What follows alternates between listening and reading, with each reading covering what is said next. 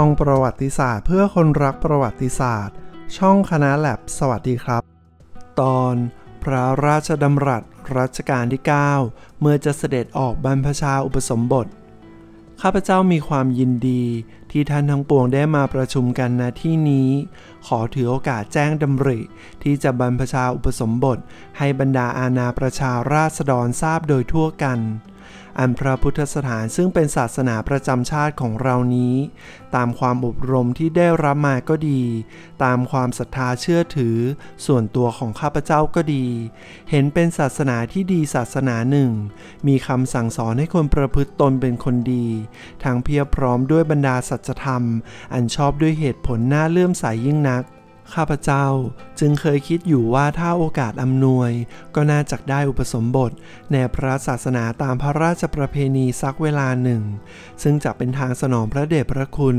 พระราชบุปการีตามคตินิยมอีกโสดหนึ่งด้วย และนับตั้งแต่ข้าพเจ้าได้ขึ้นครองราช สืบสันตติวงศ์มาก็เป็นเวลาช้านานพอสมควรแล้ว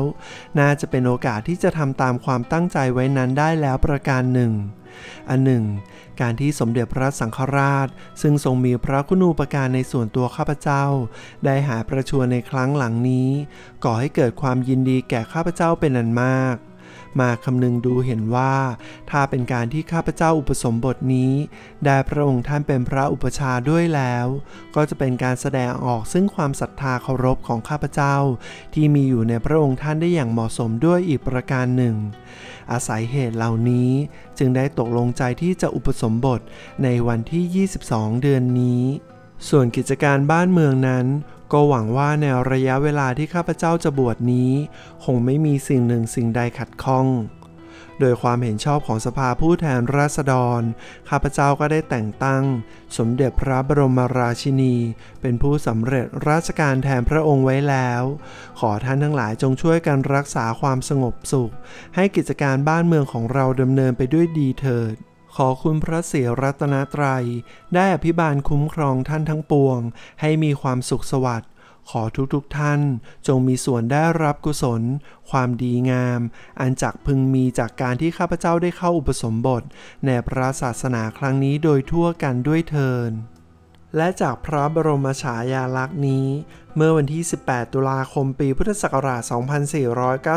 2499 พระบาทสมเด็จพระปรมินทรมหาภูมิพลอดุลยเดช รัชกาลที่ 9 และสมเด็จพระนางเจ้าสิริกิติ์พระบรมราชินี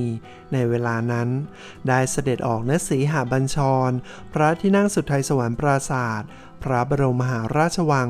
เพื่อมีพระราชดำรัสแก่ประชาชนที่มาเข้าเฝ้าทูลละอองธุลีพระบาท ในการที่พระองค์จะเสด็จออกบรรพชาอุปสมบทในพระบวรพุทธศาสนา ข้อมูลจากจดหมายเหตุทรงผนวด และสุดท้ายนี้หากท่านมีคำแนะนำใด ๆ หรือมีข้อมูลใดที่เป็นประโยชน์อยากจะเผยแพร่แบ่งปัน อย่าลืมที่จะเขียนคอมเมนต์ไว้ด้านล่างได้เลยนะครับ